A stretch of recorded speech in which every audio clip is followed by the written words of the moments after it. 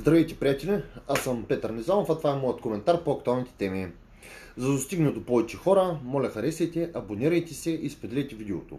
В зависимост къде гледате видеото, моля харесайте страницата или в, ми във Facebook, или се абонирайте за канала ми в YouTube. И двете са Петър Низамов, Петър Низамов, едно след друго написано на български и на латиница. Или се запишете за известия от вебсайта ми petarnizamov.com Първо. Откакто го има COVID-19, съм изчел всички научни трудове и в началото, за много кратко време, може би само до края на февруари 2020 година, още преди карантината тук, и аз мислих като повечето. Но реалностите, реалностите са съвсем други. Аз винаги съм казвал каквото мисля, а не каквото искате да чуете, така че ако искате да чувате това, което искате, отидете при някой дето се бори за гласове или за лайковите. Аз се боря за истината, а тя често ни е харесвана от повечето. И не съм политик и няма и да бъда, защото искам да казвам а, това, което мисля, а в политиката това е противопоказно. Това, че един път съм се кандидатирал като независим общински съветник, не означава абсолютно нищо. Цяла година българинът беше вирусолог, инфекционист и епидемиолог. После за малко стана боксов експерт и анализатор на поведението на боксерите извън ринга. Днес, когато ваксините са на лице, българинът е имунолог и имунопатолог.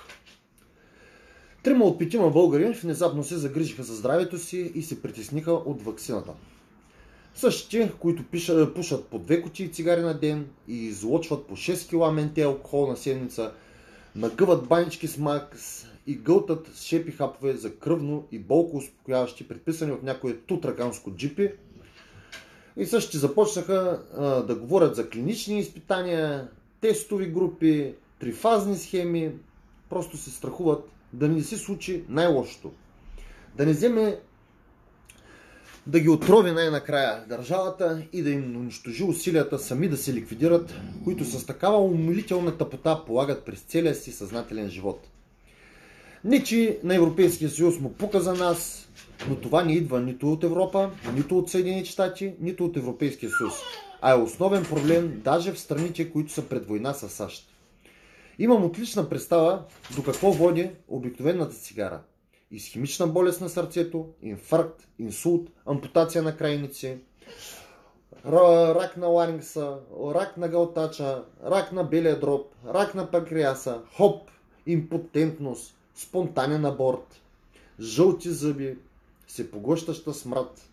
Всичко това е добре, достатъчно добре, доказано с клинични проучвания не за 2-3 години, а за последните 70. Обаче това ми пречи на половината нашите с горност да дават а, последните си стотинки за пакет папироси. Ваксината обаче изведнъж се оказа страшна. За разлика от а, смесения с тебешир кокаин, който шмъркат в кенефа на долнопробния чалга клуб или наргиле бар, който е полезен, преминал всички фази на изпитание. Българинът не се страхува да кара пиян и без книжка. Не го притеснява да се тъпче с стероиди и амфетамини преди да ходи да поблъска малко за трицепс. Не си мие зъбите и не ходи на доктор. И логично живее най-кратно от всичките си събратия и с Европата. Но когато поискат да го боснат с вакцина обаче, внезапно се превръща българина в апогет на здравословния живот и природосъобразно съобществуване, същото извършено между две напивания с ерзац ракия и лимонада с аспартам.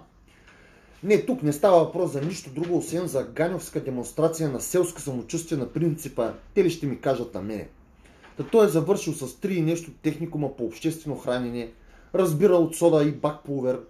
Не е някоя наивна овца да го се остави да го вакцинират. Нищо, че някакви си професори, имунолози, вирусолози и някаква си подобна пасмина му обяснява, че е безопасно. Кой знае къде са си купили дипломите, както той е направил с своята. Ние сме странни хора, българите.